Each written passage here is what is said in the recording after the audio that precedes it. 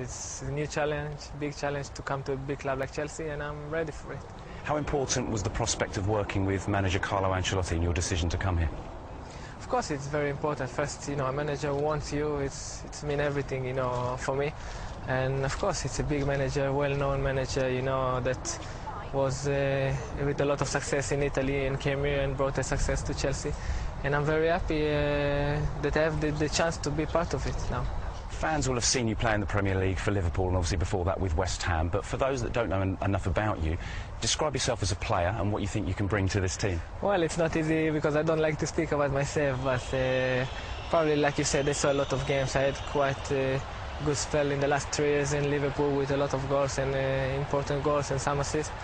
But the only thing I can promise is that I will work hard because I know there is a lot of quality players in, in Chelsea.